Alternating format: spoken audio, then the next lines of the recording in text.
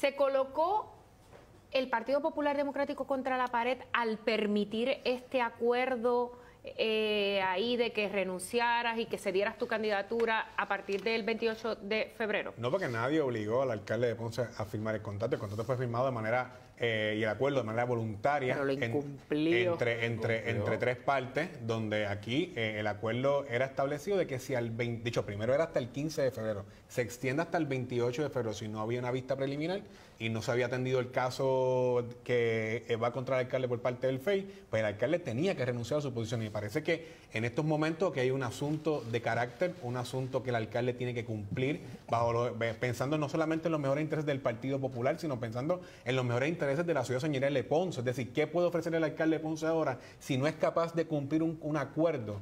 de caballeros, de abogados, de, de políticos, eh, de manos dadas, firmado por él mismo eh, de manera voluntaria, sin ni tan siquiera puede cumplir lo mismo. Es decir, me parece que ya es un asunto de carácter, el alcalde tiene que cumplirlo, renunciar, o si no, en los ¿cómo lo tribunales el partido pudiera, el partido tiene toda, eh, el- los partidos se reservan los asuntos de idoneidad.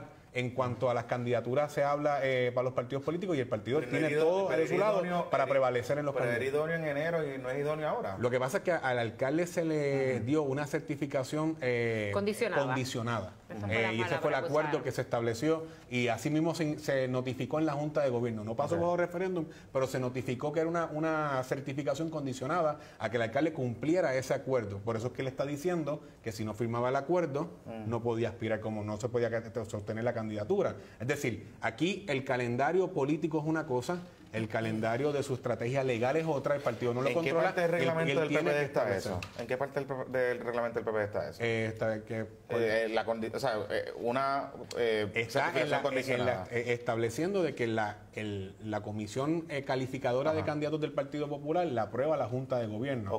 La condición de que se estableciera ese acuerdo eh, de verdad como condición la redundancia, de su candidatura poder aspirar bajo la, la- a la alcaldía de Ponce se notifica a la Junta de Gobierno y se establece que como secretario era el, el Toñito Cruz firma ese acuerdo y ese acuerdo está establecido. Hemos escuchado a Manuel Calderón Cerame, pero yo quiero eh, conocer cuál es el parecer sobre esta controversia que tiene eh, Juan Carlos del Valle, que está aspirando a, a la legislatura por el movimiento Victoria Ciudadana. ¿Cómo usted ve esta situación?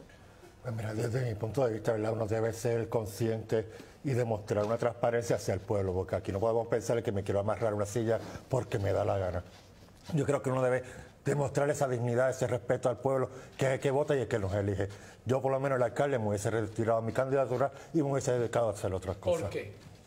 Bueno, porque hay un respeto que se le merece, merece el pueblo. Tú no puedes seguir en una posición donde se están haciendo unas acusaciones que quizás sean ciertas, que quizás sean falsas, pero aquí quien tú le debes un respeto es al pueblo. O sea, quieres decir, una por estar acusado por el FEI, es que tú entiendes que él debería renunciar, no necesariamente por haber incumplido el acuerdo. O sea, ¿crees que él debió haber renunciado desde mucho antes? Claro, tú renuncias, sí.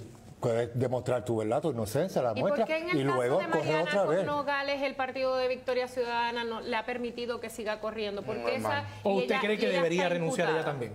No, el bueno, el caso de Mariano Gale ya ha demostrado su inocencia en todos los casos que se Pero han ¿cómo Pero es está acusada igual. Pero le quedan dos cargos, Todavía. Y cómo es distinto porque está corriendo acusada. O sea, para los cuales le han hallado causa.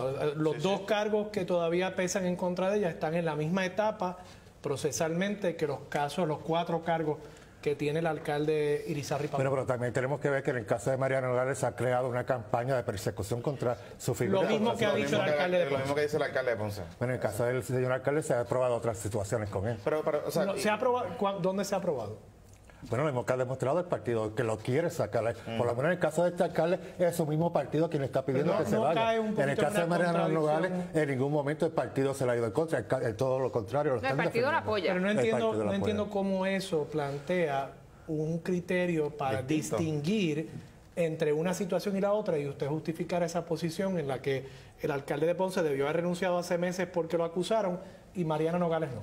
Bueno, vuelvo y te repito, en el caso del alcalde de, de- de Ponce, su mismo partido está pidiendo que se, sa- que se salga de la candidatura. En el caso de Mariano Nogales, el partido O continúa sea que si el. Partido Popular hubiese apoyado al alcalde de Ponce, usted entendería que él podría mantenerse. Eso eh, se lo deja al partido.